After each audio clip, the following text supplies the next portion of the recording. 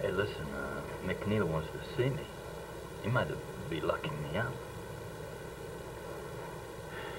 I'll tell you what I'll do.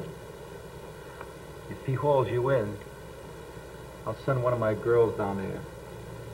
She'll put some money on the books for you. You won't have to touch your own money, so when you get out, you'll have their money. I'll take care of you.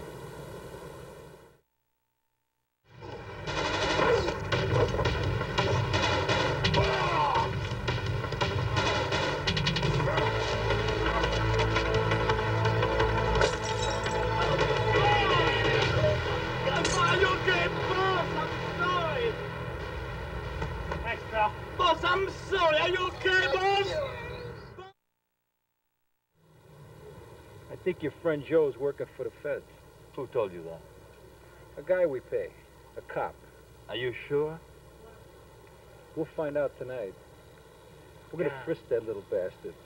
God damn it. I like Joe. He's a good kid. We'll get him. Oh, man. I don't need that in my life.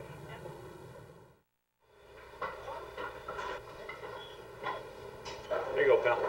Say, where's your extinguishers? Hey, hey, hey, hey, hey, hey. What's the deal? Call Daddy for a good time? Hey, look, I'm looking for a big, tall guy, you know, dark hair, wears a black coat. He left this case. I want to give it back to him personally.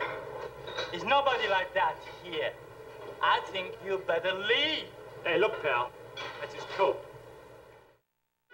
Hold it there, pal. Hold it, man. There's a vehicle inspection. Let me check those keys. Let me see what you got there, buddy.